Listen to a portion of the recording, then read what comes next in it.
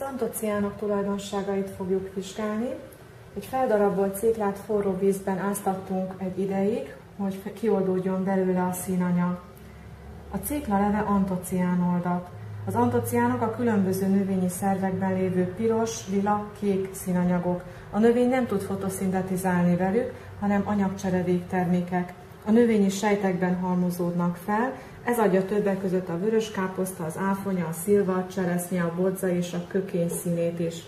Különleges tulajdonságuk, hogy indikátorként viselkednek, az indikátorok színváltozással reagálnak a környezet kémhatásának megváltozására.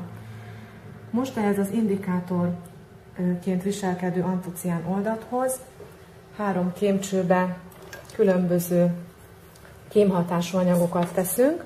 Az első kémcsőbe nátriumhidroxid oldatot fogok tenni, és megnézzük, hogy hogyan változik a színe. Jól látható, hogy luk hatására az antocián oldat sárgás-barnás színűvé változott. A középső kémcsőbe összehasonlítás miatt most nem teszünk semmit, és az utolsó kémcsőbe megnézzük, hogy savra hogyan reagál az antocián oldat. Sósavat fogok tenni a kémcsőbe, és összehasonlítjuk az eredeti oldat színével. Még egy picit.